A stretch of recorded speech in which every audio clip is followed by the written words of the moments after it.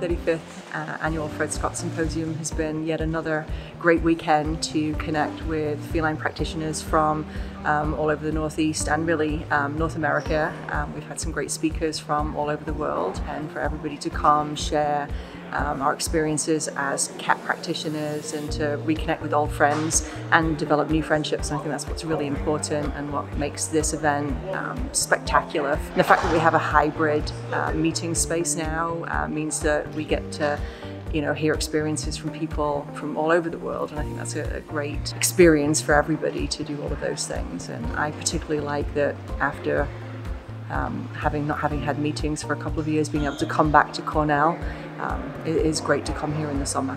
I think the first time I came, it was just such a friendly conference that I met people that you just decided that you wanted to come back year upon year upon year because it's a social event as well as a learning event. And you really feel like you get that one-on-one or um, you know, sort of communication where you really feel you get that in-depth learning experience. And, and so I think it's, you know, you feel like family. You feel like you're coming back to family every year. It's a really special experience.